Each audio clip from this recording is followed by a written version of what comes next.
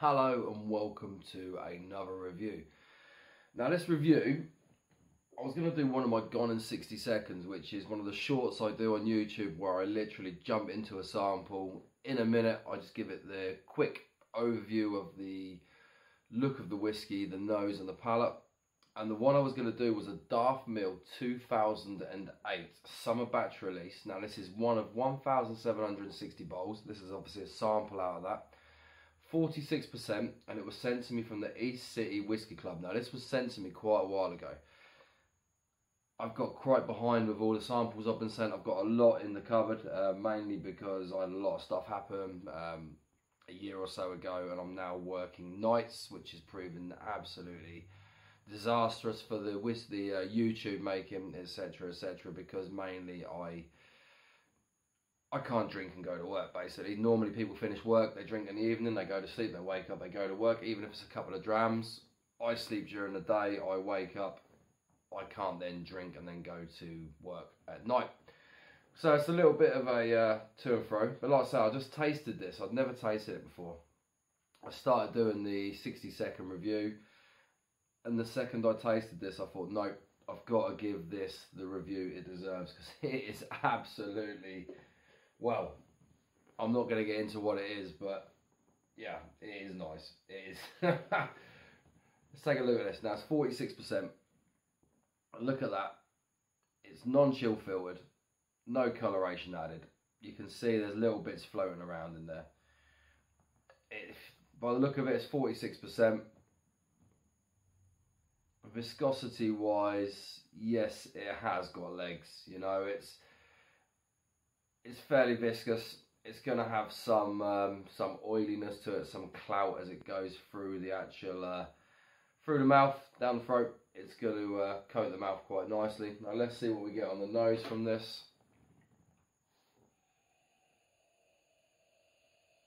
This is the point at which when I was doing the 60 second review I thought maybe this isn't a good idea, maybe I should give this more time. It's super floral. It really is. It, smells crisp. It smells clean. It smells absolutely fantastically produced. Super rounded. Not a abs. Not not a hint of sharpness in there that suggests it's going to taste weak. Um, well, not weak, but taste.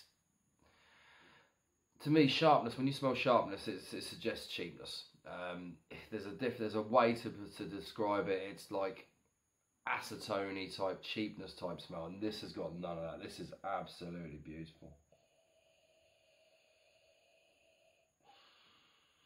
It is the summer 2008 release, and I smell this, and it takes me to summer. It takes me to a meadow. Walking through the meadow, wildflowers everywhere orchard fruits swinging in the breeze. You've got apples. You've got pears. You've also got a slightly buttery type smell at the back of this.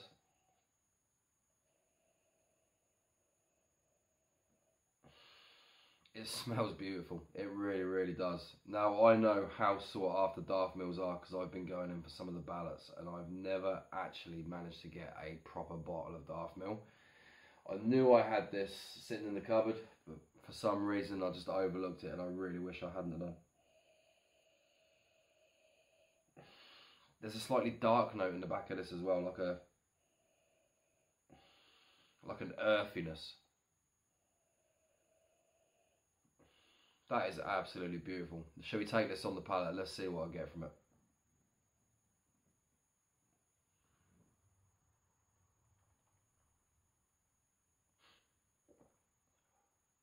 That is stunning. That really is. A lot of fruit in there. Definitely getting summer fruits. I'm getting like cherries, pears,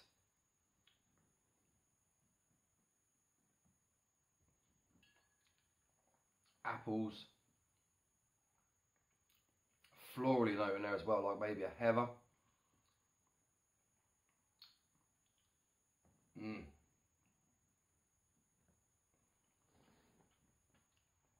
There's a butteriness at the back of this as well.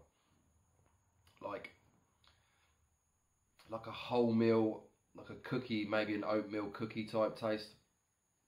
It is absolutely beautiful. And look at the legs on that, you say, 46%. It's gloopy, it's oily, it's hanging in the mouth. The finish is absolutely fantastic. The finish just goes on and on and on. The finish is very buttery. There's a lot of sweetness in there as well. There's definitely some sugary going, sugary notes going on in there. As weird as it may seem, I'm picking up crispy, uh, Krispy Kreme donuts.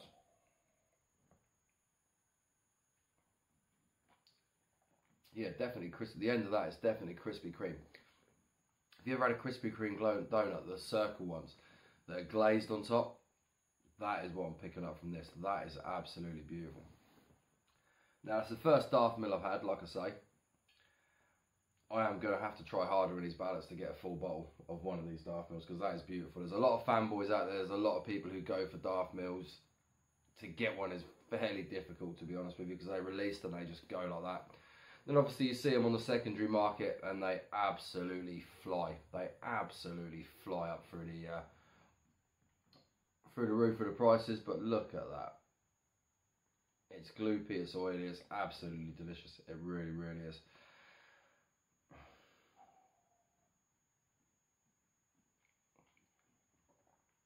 What a dram. What a dram. That is pushing on 9.8 out of 10. That really is. I know a bottle of this now, the bottles of the 2008 summer release are going for around about £500 a bottle, which is rather expensive. It really, really is. But, you know, you can see why. You can see why people are paying this on the secondary market as well. You really, really can. It is an absolute stonker of a whiskey. But, right, I'm going to leave that review there anyway. Uh, that was the Daftmill 2008 summer batch release. What a beauty. All I can say about it is what an absolutely stunning whiskey. But like I say, I'm going to leave that there. You take care of yourselves and I'll see you in the next review.